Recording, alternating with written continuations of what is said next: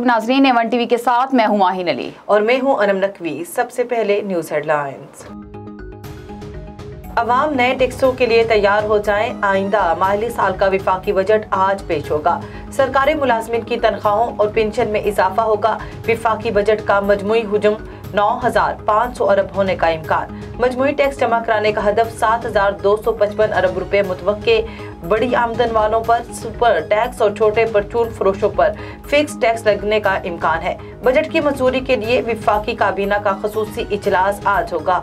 हुकूमती इतिहादी जमातों के सरबराहों का वज़ीर आज़म पर इजहार एतमाद रवा माली साल जीडीपी की शरह छः फ़ीसद रिकॉर्ड। इकतदी सर्वे रिपोर्ट में कहा गया, ज़रात, खदमात सनती अहदाफ हासिल, फीकस आमदन में इजाफा, मुल्की मीशत का हजम तीन सौ तिरासी अरब डॉलर तक पहुँच गया। महँगाई की शरह का हदफ आठ फ़ीसद तक, मगर तेरह इशारिया तीन फ़ीसद तक पहुँच गई। सबक वज़ीर अजम इमरान खान का कहना है, इकनॉमिक सर्वे में हमारी परफॉर्मेंस सामने आ गई। दो साल के दौरान मुल्क की दौलत बढ़ रही थी, बेरोजगारी पूरे बरसगीर से कम थी। बरामदात और जर मुबादला बढ़ा, इंडस्ट्री ने तरक्की की।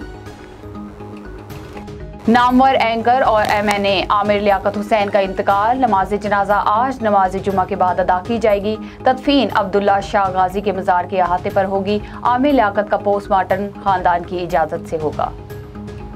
सख्त गर्मी में लोड शेडिंग से शहरी बिहार, शहरों में 10 घंटे और देहात में 14 घंटे तक बिजली गायब। डी आई खान में लोड शेडिंग के खिलाफ एहतजाज खातन भी शरीक, कराची अबुल हसन असफहानी रोड पर शहरियों का लोड शेडिंग के खिलाफ मुजाहरा। आसमान को छूती महँगाई के बायस लाड़काना की आवाम हुकूमत से नाला। कहते हैं दो वक्त का खाना खाना भी मुश्किल हो गया। हुकूमत कीमतें कम करने के लिए हंगामी इकदाम उठाए।